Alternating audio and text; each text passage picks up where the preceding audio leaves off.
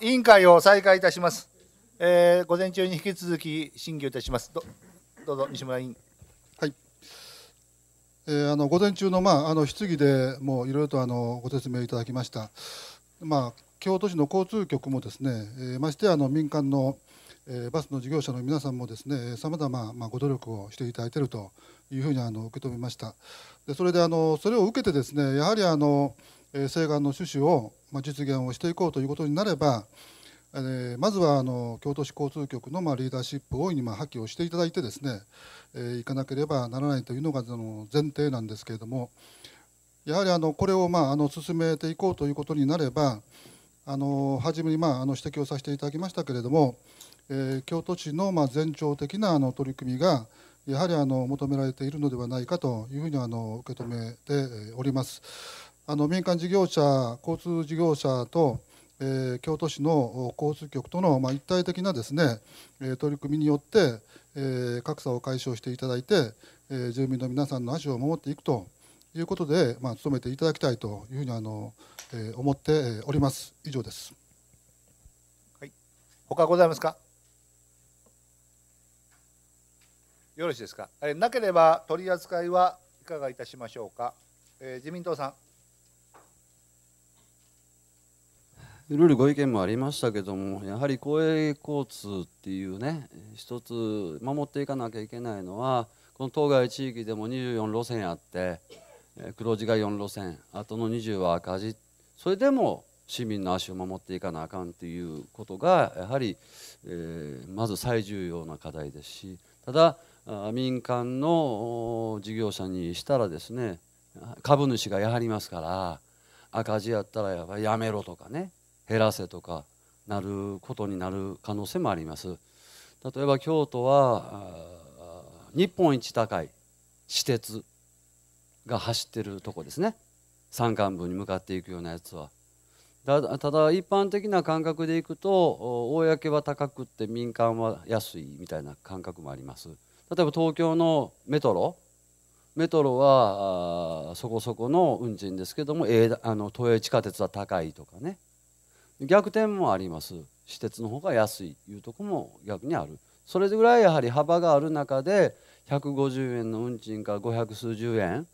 の運賃の幅がある中で均一にしていくいうのはコンセンサス取らなきゃいけない通達もあるわけですから、まあ、そういうことも含めて徐々にやはりね均一区間も広げていただくと同時にこれからも努力していただけるということでございますから自民党といたしましては留保ということでお願いいたします。はい共産党さん。はい、どうぞ。あの長い議論がね、これまでされてきまして、えー徐々に拡大がされてくるという点では、まあ、制度とし制度ととしてはね、前進をしてきたわけであります。えーしかも、リーシャの皆さんは、均一を目指して、まあ、努力していく旨も、これまでも表明されておりますし、まあ、それ自身があの法的にも可能ということでもありました。で今、まあえこの請願の趣旨からいきますと、え交通局にですね、まあ、しっかりそういう努力をしてほしいという趣旨でありますので、私は採択をしていただいて、えーまあ、リー社の背中をぜひ押していくということが必要ではないかと思っておりますので、私どもとしては、採択をお願いをしたいと思いますが。公明党さん。まあ、この問題はあの、まあ、あのこの数年来議論が積み重ねられてきた問題でもありますまた今回も改めて請願が出されまして提案説明があり、まあ、それに対する答弁もいろいろあったわけでありますだからまあ今日のこの段階で結論を出すというよりも持ち帰りましてさまざま検討しまた地元の議員の意見も来て地元の声をどう受け止めるかという点も踏まえて本日の段階では留保でいいのではないかと考えております。国民未来さん。安井委員どうぞ。えっと、私どもも同様、留保でよろしくお願いします。京都党さん。はい、あの、私どもも留保でお願いいたします。えーそれでは、あー留保と採択ということで意見が分かれておりますので、えーあ、はい、どうぞ。あの考えている内容としてはあのそう変わりはないように思いますし、まあ、皆さんのご意見も、えー、お聞きをしましたので、えー、前向きということで私どもも、まあ、留保でしていただいて結構かと思います。はい、えそれでは本選につきましては留保とすることにご異議はございませんか？はい以上で請願審査を終わりますが、この際、交通局に対して一般質問のある方は、ただいま挙手していただき、あらかじめ質問内容をお申し出いただきますようお願いいたします。どうぞ。はい、木大員。交通局の施策と本市全体の施策との整合性について。はい、他の方ございますか？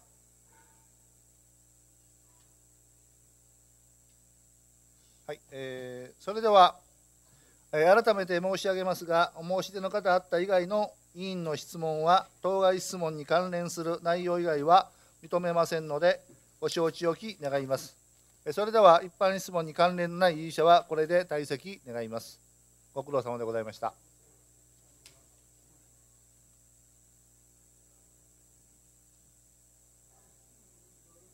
残っていただいても結構でございます。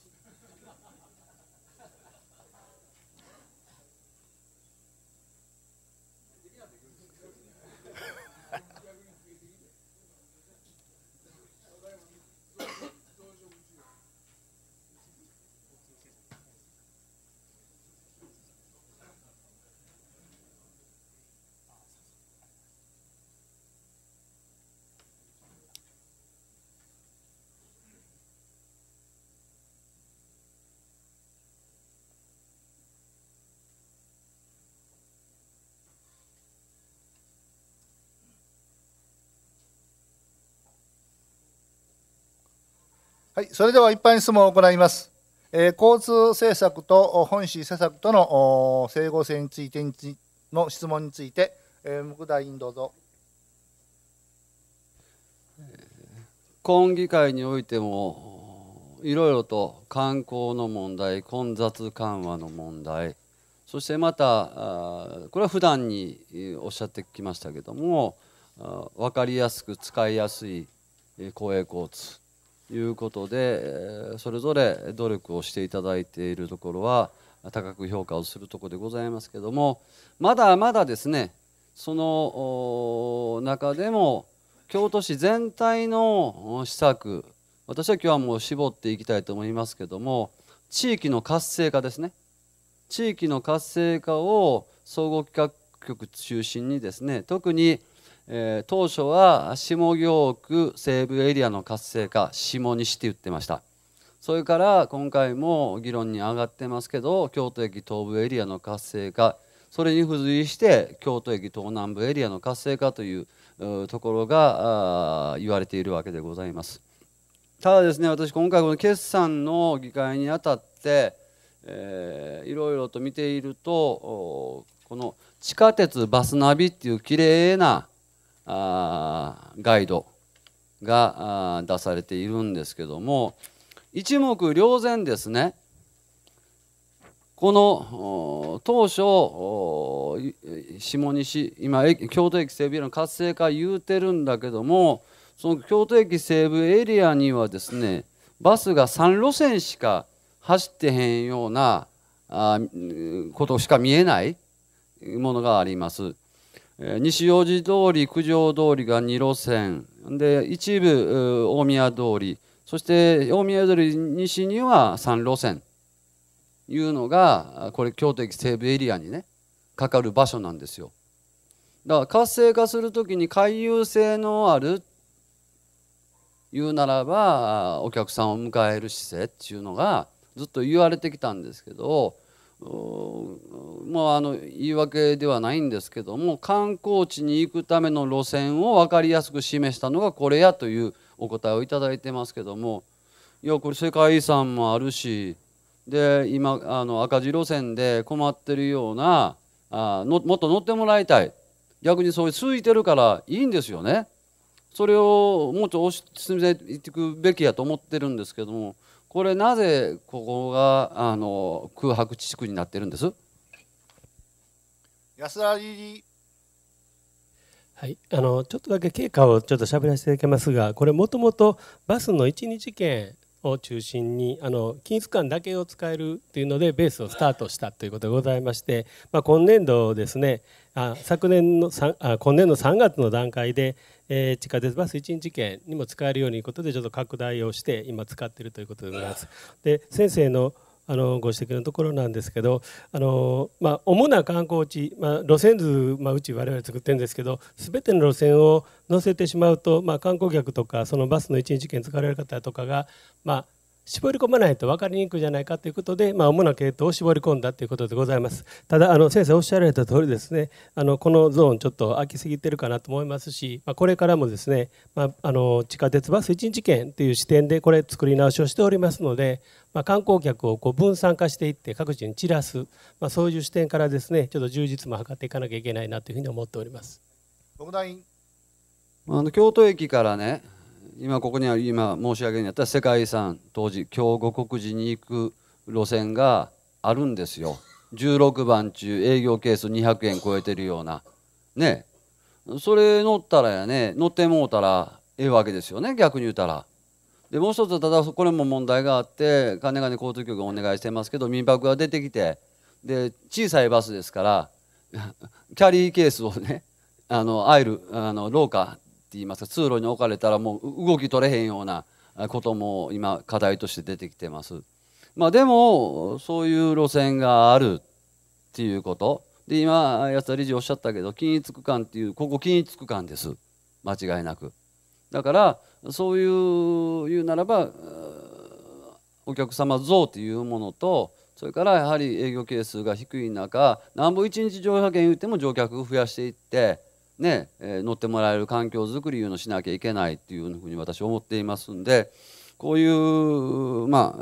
緻密私ねこれほんまに綺麗で分かりやすいと思ってます。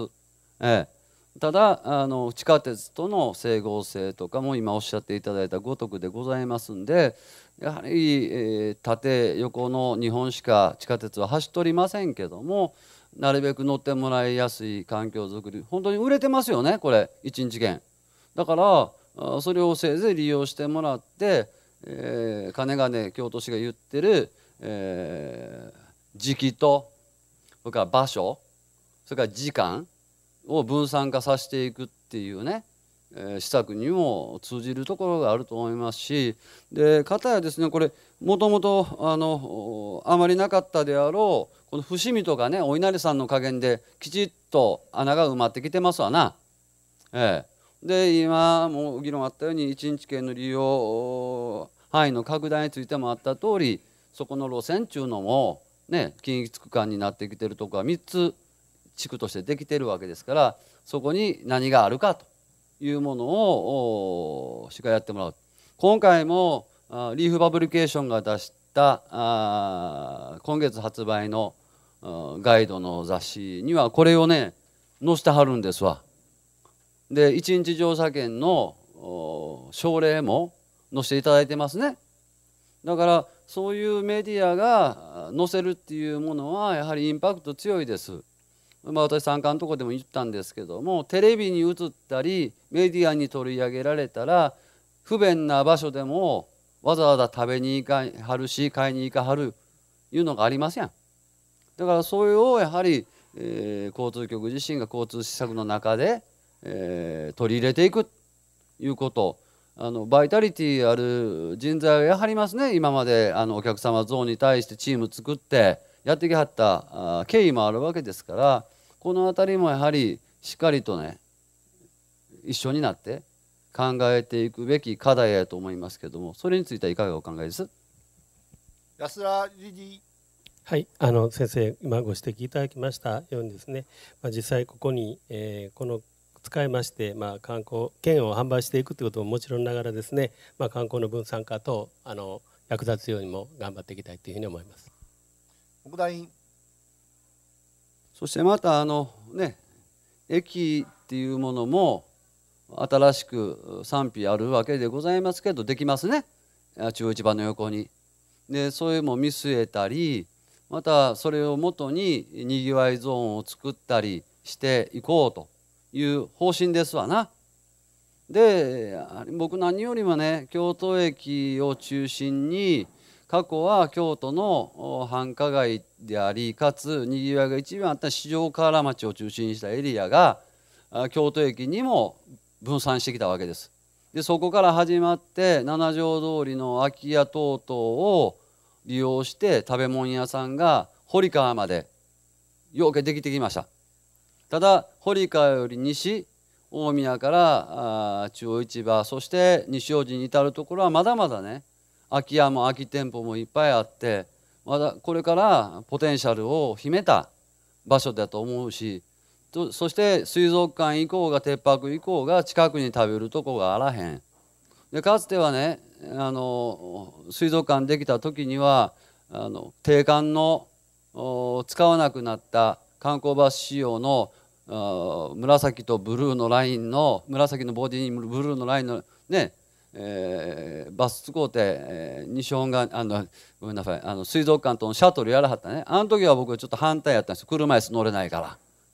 ねだけどもそういうのを適宜そのトレンドに応じて、えー、対応していただいてるわけでございますからまあ、先のことを見据えて、えー、今度これまたね改定しはる時はあ知恵絞っていただいて、えー、形にしていただきたいと思ってるんです。これについてはいかがです？安田はい、あの、まあ、ご指摘今いただきました。あの、実際今地図ですね、あの、京都水族館にしても、鉄道博物館にしても字だけでしか書いてないというところもございます。あの、ちょっとイラストとかも加えながらですね、あの、新しい駅も載せて改定するように取り組んでいきたいというふうに思っております。はい、木大委員。まあでも交通局にしたらね、あの JR 新駅ができたら、京都駅から市内、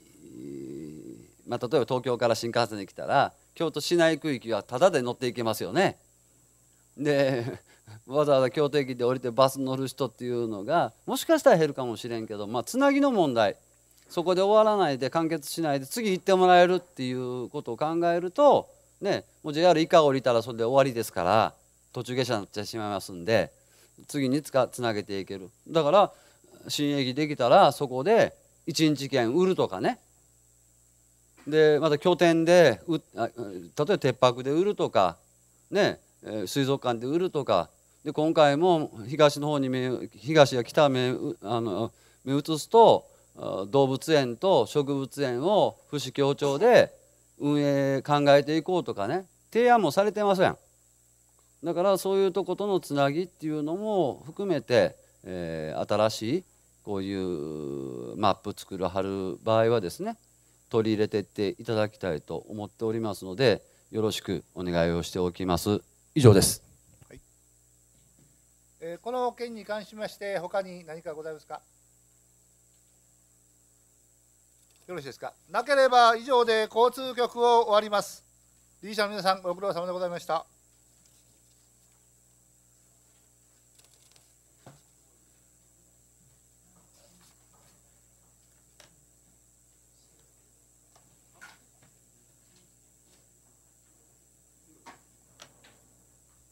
はい、委員の皆さんはしばらくお残り願います。まず、付託議案の取り扱いについてでありますが、各会派でご検討いただき、10月24日水曜日に開会する予定の委員会で討論決了といたしたいと思いますので、よろしくお願いいたします。これをもって本日の委員会を参加いたします。委員の皆さん、ご苦労様でございました。